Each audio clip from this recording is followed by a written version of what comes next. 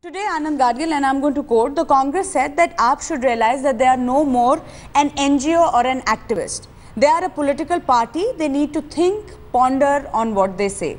Now, I find a lot of political hypocrisy in all of this because Rahul Gandhi very recently made a comment which became very infamous where he said an intelligence officer came into my room, this was at a Muzaffarnagar rally, and said that people from Pakistan's intelligence agencies are talking to a few Muslim boys whose relatives were killed, so on and so forth. He also tried to talk to the boys and convince them to get influenced by these people.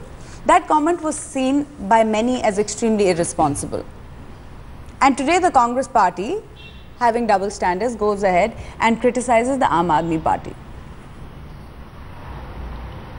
See, first of all, let me ask whether Mr. Prashant Bhushan is talking for the Aam Aadmi of Kashmir, Aam Aadmi of India, or Aam Aadmi of the foreign countries or the Western world.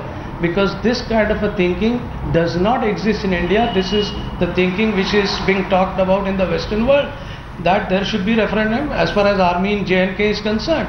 Number two, we should not think about today because this year and a little bit part of the next year, the American forces are going to withdraw from Afghanistan and there is a fear that the Taliban who would be freed now with their target of US losing, they may concentrate they may target India, they may target Kashmir. So in such a situation, is Aam Aadmi going to say, if the terrorist attack, we will have a referendum whether army should be there in J&K? I mean, this is something funny. They are trying to catch a catch a lion uh, riding on a cat. I mean, that's the situation. No, but now, they they have just come to power. No, no. One they thing, one thing I must say, one thing I must say. They have to, apart from they have they have to be responsible uh, political party now. That's what we said. They are, more, they are no, no more NGO.